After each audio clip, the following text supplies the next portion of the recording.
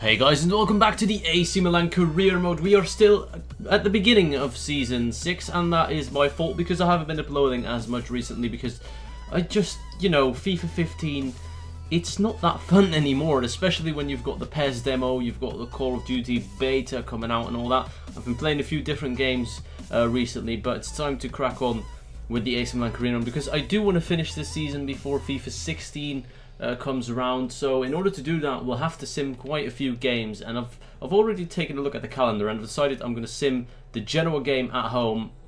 And in the next episode, probably the Hellas Verona game as well. So in this episode, we will play Sassuolo away and Anderlecht in the Champions League. Very interesting uh, to see how we can do in the Champions League and in Serie A, of course. We're not top of the league, we're currently sitting in sixth. So the difficulty has had its impact, uh, this increased sliders for the CPU have troubled me at times, and uh, hopefully that won't be the case for this simmed game against Genoa. This is a team I'm putting out They're very strong. Let's see what kind of result we can get before uh, moving on to the next game. Look at that formation, by the way, by Genoa. That is ridiculous. 3-4-3 with two attackers on left and, and right mid. Doesn't seem uh, very logical, but we're going to skip in 3, 2, 1. And we get a 2-0 win, but Pogba gets sent off. Rodriguez and Ayew getting the goals. That's not good, uh, Paul Pogba. I expected better from you. You've been in great form. It's time to head into the uh, away game against Sassuolo. We're now fourth in the league, three points behind the current league leaders Fiorentina. And the simple replacement for the uh, suspended Paul Pogba is Sonny Kittel. Other than that, it's pretty much the same team, a very strong team, and everyone is in good form. Sassuolo really shouldn't form a problem. Oh no, we've got an injury now. 14 minutes gone. Sonny Kittel has gone down. Is he injury prone? Because I swear that's yeah he is. So that's his second injury of the season. That's not great. Um, we're going to bring on Antoine Griezmann in the camera. Hopefully he can get the job done. That's unfortunate because he did have a good start to the game, Sonny Kittel, but it won't last for long because he's been taken out. Well in by De Sciglio. Lacazette now on the run, trying to keep hold of it. Well done. Niang plays him through. Alexandre Lacazette, what can he do? Can pass it back into Niang. Has to be 1-0. What? How? What? Niang into Youri Tielemans. Well played. What can Tielemans do? Back into Niang was the idea, but it's Ayew instead. We've lost it, but Youri Tielemans has got it on the edge of the area. What's that for a shot, man? We've completely and utterly dominated Sassuolo in that first half. We just couldn't finish the chances we had, and probably the biggest chance fell to M'Baye Niang, but he let us down big time uh, with that open goal miss. So, what I'm going to do is, I'm going to put Lacazette as the striker and Niang in right wing. I think he's going to do a better job there, and El Shaarawy's a little bit tired, so he's going to come off for Javier Hateboer. The only few changes I'm making, we need to get that goal as soon as possible. Great save, and what a miss. Thank God for that. Sassuolo's first chance of the game, and it could and maybe should have been a goal, but Salvatore Sirigu denies them from close range. And how did he miss that? I guess that evens it up from uh, open goal misses. Can Niang do down the wing? He's got two men chasing him. He's taken it past them well, and by Niang. But to find an option now with them parking the bus is absolutely impossible. Lacazette's on the edge of the area. Back into Niang. Well played. Niang's going to whip one in. Lacazette can't get his head onto that. Tielemans into Ayew. Ayew turns back into Youri Tielemans. Well played. What can Tielemans do? No one's giving him an option. Lacazette finally does. But it's just impossible to break them down. We've got 10 minutes to go. Look at this, man. This is pathetic. They're playing at home as well. Into Lacazette. This is the one. Oh, my God. Well done by Niang. Niang still going. He's going to whip one in, trying to find Lacazette right there. The keeper comes out and claims it. We've got one minute to go. It's not going to happen. Sassuolo are, without a doubt, the most boring team of the league and just on FIFA in general, I'd say. Whilst Lacazette tries to make something happen by playing it into... Oh, Griezmann, man, you've been absolutely woeful. Hateboer inside. They open up a bit for him. Hateboer a referee. That's a free kick in a good position. Deep in extra time we go. And we've got an opportunity right here to do something. Seems impossible to whip it over the wall. So what I'm going to do instead is have Youri Tielemans bang it from a short pass. Or Lacazette. That'll do. Alexandre. No. Nicolas N'Koulou. Of course not. He can't score. And that's going to be the end of the game. Yep, there we go. Final whistle. Sassuolo get what they wanted. Boring cunts. Absolutely boring cunts. I hate them. I'll be cheering for their opponents every single week in the hope that they might get relegated in this final season of the career mode. That would make my day if they get relegated because they don't deserve to be in the Serie A after that. Injury news for Sonny Kittel. Let's take a look. Four weeks. Glad to see I paid a lot of money for you, man. Uh, you're doing well. It's not the fucking Premier League, man. You don't have to get injured every two weeks. It's good to see that a lot of players have grown in overall. I'm looking at Rafael Varane, who's going to start against Anderlecht, 87 rated, Griezmann 90 rated, Niang 85 rated. All these players have grown uh, fantastically well these past few weeks. So I'm actually going to play Griezmann and put Youri Tielemans on the bench. Pogba can go to centre mid. In the right back slot, we're going to, of course, put the uh, DeAndre Yedlin, the American. Other than that, it's going to be my pretty standard side. You know, it looks good. Hopefully Anderlecht won't cause too much of an issue. Welcome to EA Sports live coverage of the Champions Cup. Today it's Anderlecht against AC Milan.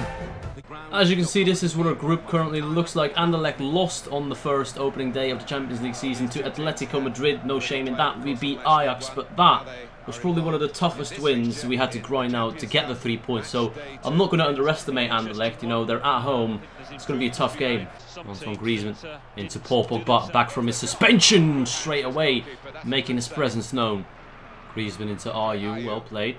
Ayew drives forward with his pace. I'm not going to go down the wing, that's not what I do. El Shaarawy gets it. El Shaarawy cuts inside. El Shaarawy with the chance, straight at the goalkeeper, Lacazette.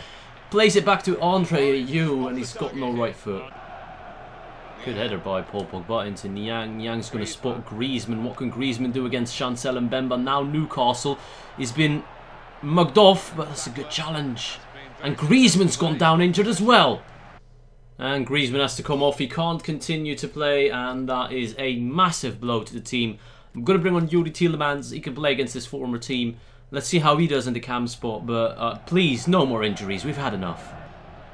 Oh, Youri Tielemans, look at that. Youri Tielemans against his former team. Youri Tielemans! Oh, he scored! He actually scored that solo effort. No one was stopping him. I don't know why they weren't putting pressure on him. More than anyone, Anderlecht should know what a danger he can be when he starts running at you. A quick, agile little player with a nice little finish in the bottom corner. We make it 1-0 just past the half hour mark. Well done by Ricardo Rodriguez. Now we can break. We've got a few people going forward. Youri Tielemans can spot El Shaarawy. That's a good pass. He's going to keep that in. Yes, he is. El Shaarawy's going to turn inside. That's too easy. Skips past the challenge into Youri Tielemans for 2-0. No. It's a great ball. Bastien. Great save, Sirigu. First chance of the game for Anderlecht. Still not gone. Another cross whipped in. Andy Najar is going to lose it. Danger is gone. We're going into half time leading 1-0, but it could have been 1-1 right there and then. We're lucky to hold on to this lead. Hopefully we can get the second goal in the second half and uh, wrap this game up. But I think I saw that Ajax were losing 1-0 to Atletico, so it looks like a two-horse race for first spot in the group, which is always interesting to see. Great switch by Ayew into Lacazette. Lacazette nearly skips past Nsakala still going. Lacazette with that pace, well played. Lacazette's going to whip it in. That's a good ball. Niang! Oh, it's 2-0. Great cross. Great whip by Alexandre Lacazette. And it's an easy finish for Mbaye Niang to make it 2-0. And we've only just started the second half. This is exactly what I want from my team, to go out there and attack them. And we have to look at that cross. Yedlin, that's too easy.